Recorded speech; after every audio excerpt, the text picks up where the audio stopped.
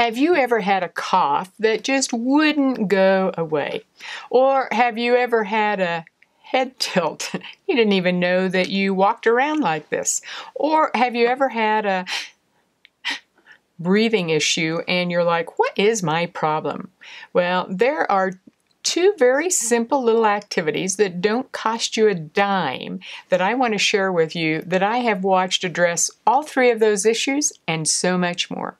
Hi, I'm Cheryl Townsley, naturopath and wisdom coach. You see, as a wisdom coach, it's not about how much you know, it's about knowing how to apply what's most beneficial for a person in the moment of life that they're currently in. And I want to also share with you a, a huge reservoir of resources totally free to you. It's our YouTube site, CherylTownsleyTV.com. That's our YouTube site. And I want to share a story that takes advantage of two videos on our YouTube site. So I'm going to encourage you to follow me on, on YouTube, CherylTownsleyTV.com. And that way, as we post new videos, you have access to them absolutely at your fingertips. So let me share a story. Teenage boy comes in um, dealing with a deep, deep, deep cough. Been to the doctors, did an antibiotic. They don't know what's wrong. Antibiotics aren't working. And so they came kind of out as a last resort. Well, let's go see what Cheryl says. And so it was very interesting as I was looking at this individual as they were shoulder down, head like this, feet like this. Pupils were enormous. And I thought, hmm, there's some adrenal stress, and there's something going on with breathing, there's something going on with posture, uh, but the eyes were the really, really big one. And so I did a couple of little things. One, I reset his eyes. Now, out on our YouTube site, there's a video on sparking, and I show how to do the vagus nerve and how to do the eyes. And when I'm testing the eyes, I just had him look at me, not move his head, and I just took a pin and had him follow the pen from side to side.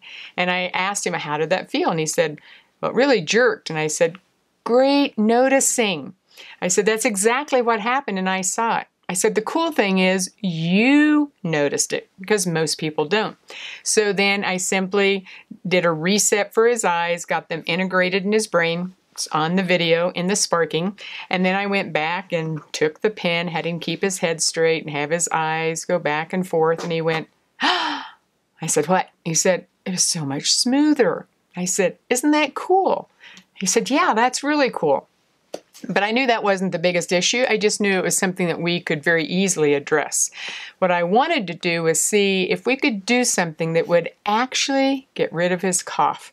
Because I have seen some amazing, amazing things. I remember a little ballerina that came in with um, just sort of tremors, you know, like little shakes. Nobody knew what to do. Nobody could find anything wrong, but clearly that's not normal. I simply reset her vagus nerve. Again, um, let me give you a little bit of background.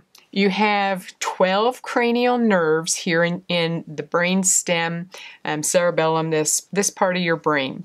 And they're like a big fuse box. And if any of those fuses have blown, it impacts circuits in your electrical nervous system. And the vagus nerve is by far the most important because it comes out of the brainstem, comes up into the brain, it comes down the neck, impacts tight neck, tight shoulders, breathing, and ends in the gut for digestion.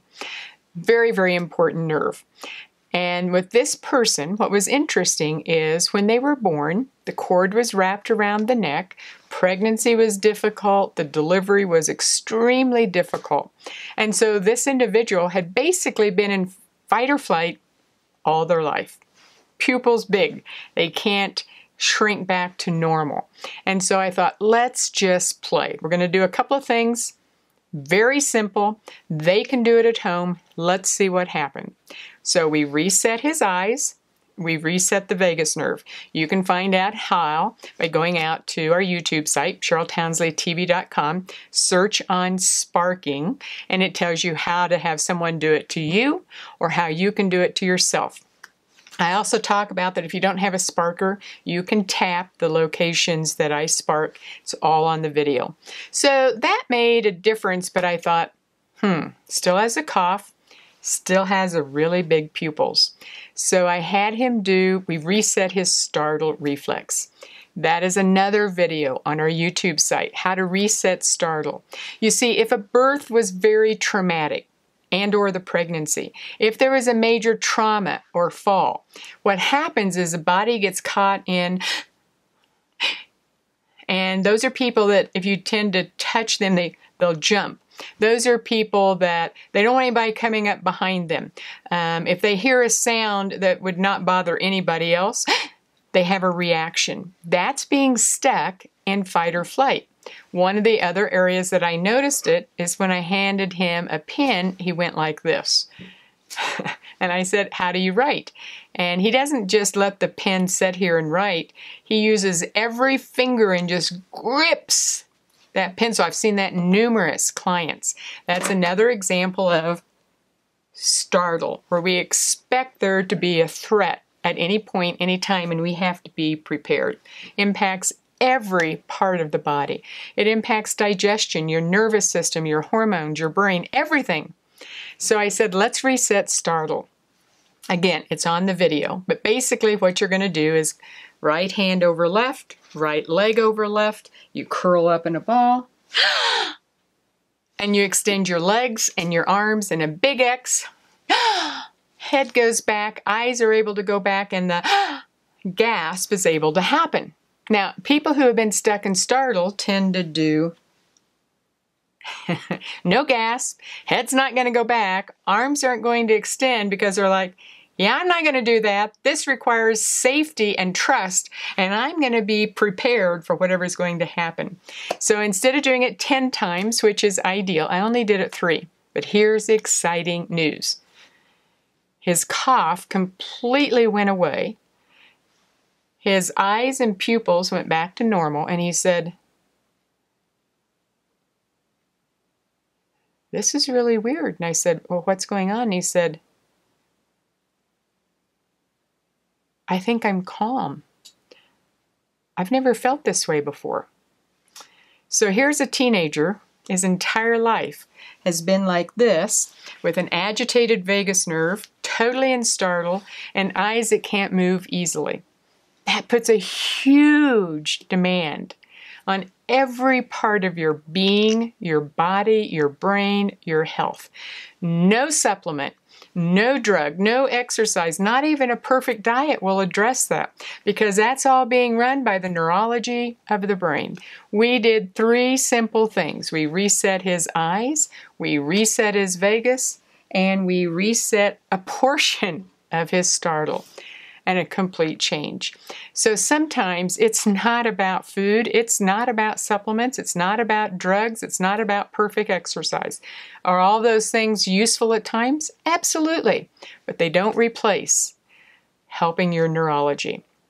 I want to encourage you that there just might be something very simple that could help a chronic symptom that just won't go away in your life. I encourage you to go out to CherylTownsleyTV.com, follow us, check out the resources out there, and discover that sometimes the easiest step the baby step is exactly what your body and your brain are looking for. And that's what a wisdom coach helps you discover.